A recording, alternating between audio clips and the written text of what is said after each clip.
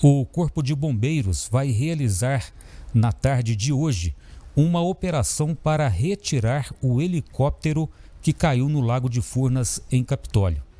O helicóptero parou a 12 metros de profundidade e é aguardada a chegada de investigadores do Terceiro Serviço Regional de Investigação e Prevenção de Acidentes Aeronáuticos, a Seripa 3.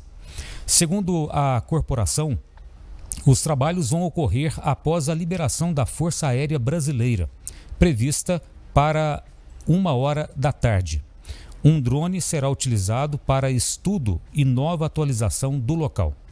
Abre aspas, iremos receber orientações sobre como proceder à reflutuação da aeronave de forma a preservar ao máximo a forma como ela se encontra, Acreditamos que até o final da tarde concluiremos as ações no local, informou a nota do Corpo de Bombeiros.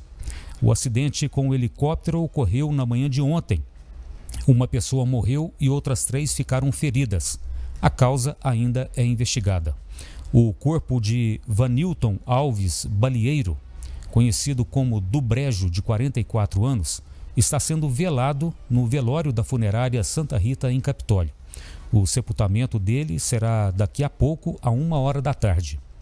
Vanildo era uma pessoa muito querida na cidade, principalmente entre os profissionais de turismo e náutica. Ele deixa os pais, irmãos, a mulher e dois filhos. A família, a nossa solidariedade, os nossos sentimentos.